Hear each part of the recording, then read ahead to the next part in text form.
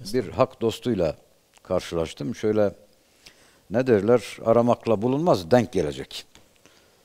Konuşuyoruz. Ben 17-18 yaşlarındayım.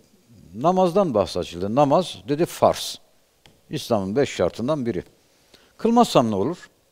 Dedi hesabı var. Dedim belki affeder. Dedi bak belki diyorsun. Belki de affetmez. Etmezse bir düşün. Halin ne olur sen? Belki affeder. Tamam affedebilir. Allahu Teala'nın affı sonsuz.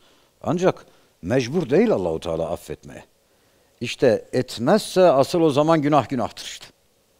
Çünkü günahın en korkunç tarafı bizi Allah'tan koparmış olmasıdır. Allah'tan bizi uzaklaştırmış olmasıdır. Yine onun lütfu keremiyle Allah bizi tekrar alır. Rahmetiyle bizi kucaklar. Ama ya yapmazsa işte o zaman günah hakkıyla günahtır ve bizi tam manasıyla hüsrana sokmuştur.